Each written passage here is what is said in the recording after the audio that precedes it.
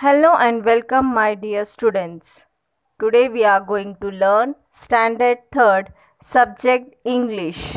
Lesson number 12 Dr. Dolittle learns animal language.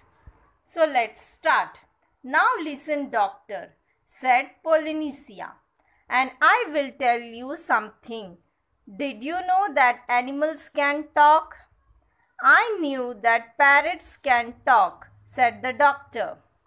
Oh, we parrots can talk in two languages people's language and bird language, said Polynesia proudly.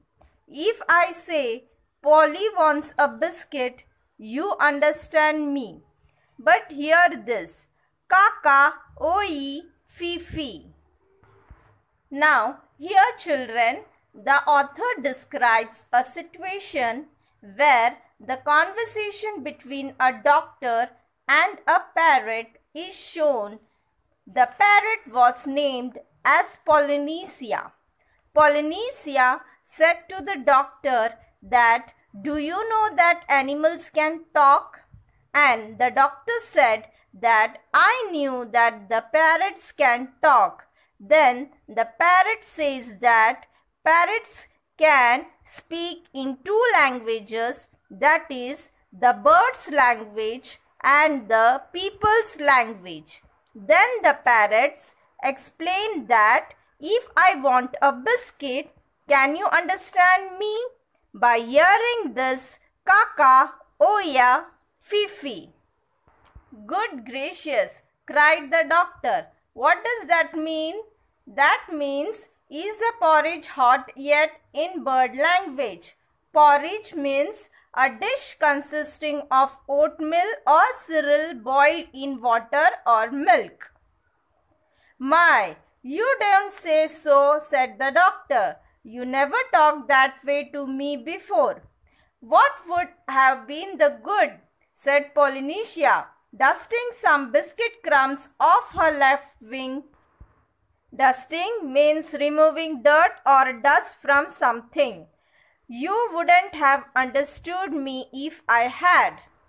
Now, here, children, in this paragraph, the doctor was too surprised and asked the parrot the meaning. The parrot then replies that this means, Is the porridge hot yet? in bird's language. Then the doctor said to the parrot that you have never talked to me like this.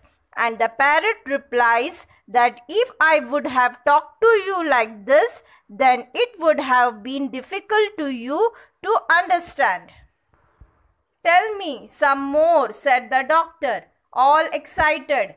And he rushed over to the dresser drawer and came back with a notebook and a pencil. Dresser, a cupboard with shelves, drawers, etc. Now don't go too fast and I will write it down. This is very interesting, very interesting, something quite new. Give me the birds ABC first, slowly now. Birds ABC means the alphabet of birds language, simple basic information about birds language. So that was the way the doctor came to know that animals had a language of their own and could talk to one another. And all that afternoon, while it was raining, Polynesia sat on the kitchen table giving him bird words to put down in the notebook.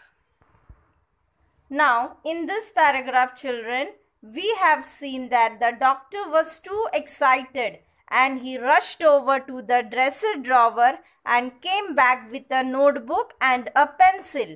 Then he told to the parrot to give me some more words. But don't go too fast as he wanted to write down all the words which the parrot will give because it would be very interesting and he wanted the bird's words that is the bird's ABC first. So the doctor came to know animals language and that whole afternoon when it was raining Polynesia sat on the kitchen table and gave the birds words to the doctor to note down. At tea time, when the dog Jip came in, the parrot said to the doctor, See, he is talking to you. Looks to me as though he were scratching his ear, said the doctor. But animals don't always speak with their mouths, said the parrot in a high voice, raising her eyebrows. They talk with their ears, with their feet, with their tails, with everything. Sometimes they don't want to make a noise. Do you see now the way he is twitching up one side of his nose? Twitching up means a slight jerk. What does that mean? asked the doctor. Now here children, at the tea time, when the dog Jim came in, the parrot said to the doctor that Jim was talking to him. But the doctor said that it was scratching his ears. But the parrot explains that animals do not always speak with their mouths. They talk with their ears, feet, and tails and with everything.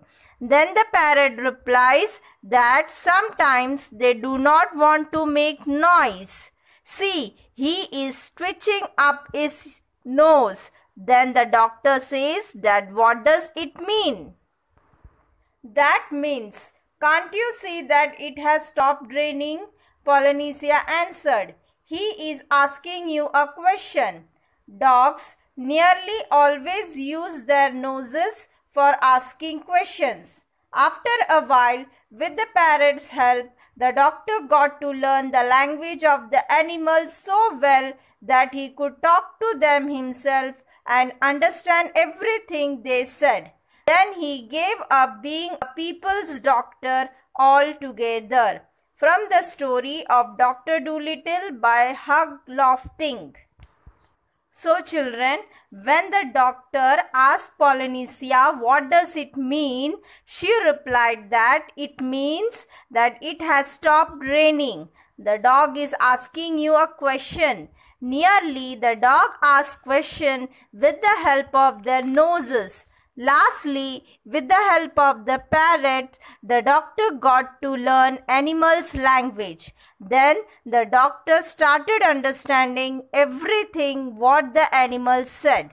And lastly, the doctor gave up being people's doctor altogether. So this was a story from the story of Dr. Dolittle by Hugh Lofting. Hope students you have understood the lesson. Read the lesson from the textbook. Thanks for watching.